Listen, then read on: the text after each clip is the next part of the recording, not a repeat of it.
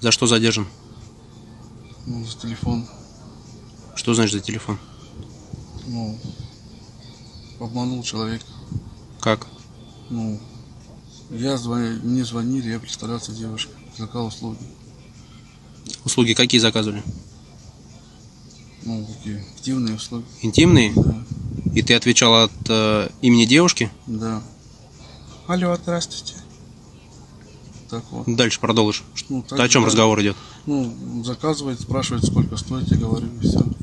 И Ну, я сказал, да, предоплату, он скинул предоплату, и все. предоплату куда скидывали? На номер телефона. Вы сегодня ночью свободны? А, да, свободно. А сколько стоит? Две тысячи. 2000 с- Да. ночь? Нет, час. А ночь? Семь тысяч.